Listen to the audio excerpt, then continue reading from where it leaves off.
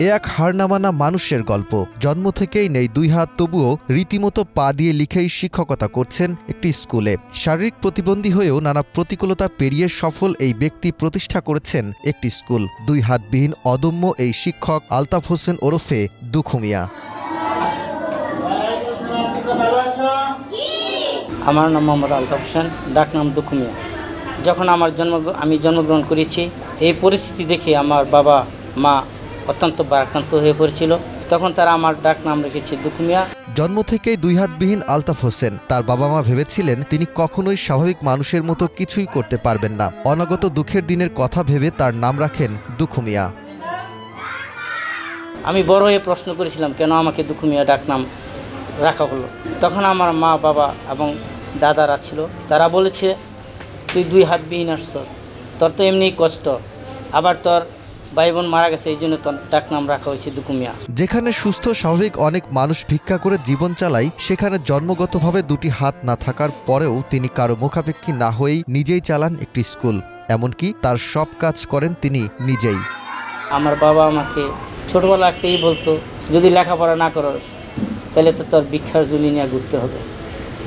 ওই যখন ভিক্ষার জুলির কথা বাবা বলেছিল তখনই আমার মনে হিট লেগেছে। আঘাত এসেছে। কেন আমি ভিক্ষা করব আমি লেখাপড়া করব। এই পথচলা মোটেও সহজ ছিল না আলতাফ হোসেনের। ইচ্ছা থাকা সত্ত্বেও পড়তে পারেননি মাদ্রাসায়। হাত না থাকায় আরবি এমনকি তার কোরআন পড়তেও দেয়া হয়েছে নিষেধাজ্ঞা। বাধ্য হয়ে তার বাবা তাকে ভর্তি করিয়ে দেন প্রাইমারি স্কুলে। মক্তবের এক ওস্তাদের কাছে নিয়ে গেল। ওস্তাদের কাছে নিয়ে যাওয়ার পর ওস্তাদ বলল না সে কোরআন ধরতে পারবে না কায়দা ধরতে পারবে না।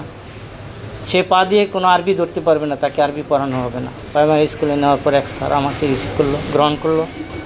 গ্রহণ করার পর আমাকে প্রথম শ্রেণীতে ভর্তি করালো। দুই হাত না থাকলেও খুবই মেধাবী ছাত্র ছিলেন আলতাফ হোসেন। পা দিয়ে লিখেই সবসময় ক্লাসের প্রথম হতেন তিনি আর এতে চক্ষু চক্ষুশুলো হয়েছিল সহপাঠীদের। আমার রোল নাম্বার এক হলো আমার ক্লাসমেটের ছাত্রছাত্রীরা। তারা আমার প্রতি কিছুটা অসন্তুষ্ট। সে পা দিয়ে লিখে ফার্স্ট হলো আর আমরা সেকেন্ড থার্ড হলাম। পা দিয়ে লিখেই উনিশশো বিরাশি সালে এসএসসি চুরাশি সালে এইচএসসি পাশের পর নরসিংদী সরকারি কলেজ থেকে ডিগ্রি পাশ করেন আলতাফ হোসেন। কিন্তু মেধাবী হওয়া সত্ত্বেও জোটেনি কোনো চাকরি। বিভিন্ন পোস্টে আমি আবেদন করি। চাকরির জন্য কিন্তু আমার কোথাও চাকরি জুটে না। আল্লাহ তাল্লাহ আমাকে দুই হাত দেয় নাই। তা হাতের জন্য হয়তো হয় না।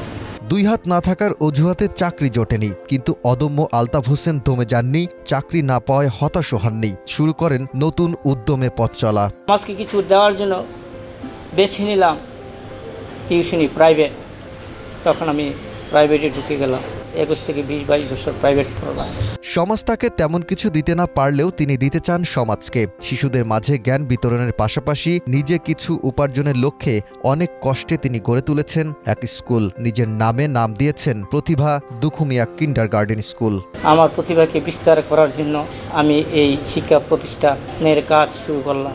তখন এই শিক্ষা প্রতিষ্ঠানের নাম রাখা হলো আমার সেই ডাক নাম অনুসারে প্রতিভা দুখুমিয়া কিন্ডারগার্ডেন নরসিংদী জেলার নগর পাঁচদোনা এলাকার বাসিন্দা আলতাফ হোসেন। ব্যক্তি জীবনে চার সন্তানের জনক তিনি। এক ছেলে এখন মাস্টার্স পড়ার পাশাপাশি শিক্ষকতা করছেন তার স্কুলে। তো আমার আব্বু তো কারও কাছে যায় নাই। নিজের পায়ে নিজে প্রতিষ্ঠিত, সুপ্রতিষ্ঠিত বলতে। তো এই জন্য আমি অনেক আনন্দিত, গর্বিত একজন সন্তান।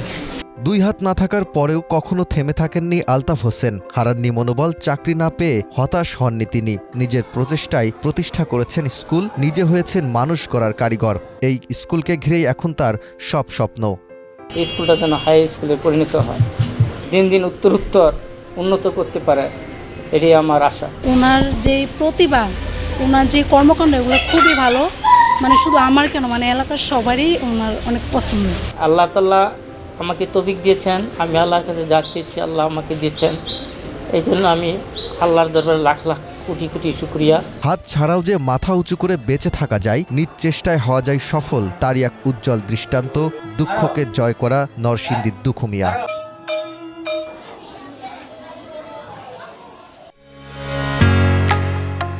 ঢালাইয়ের সেরা প্রিমিয়ার সিমেন্ট।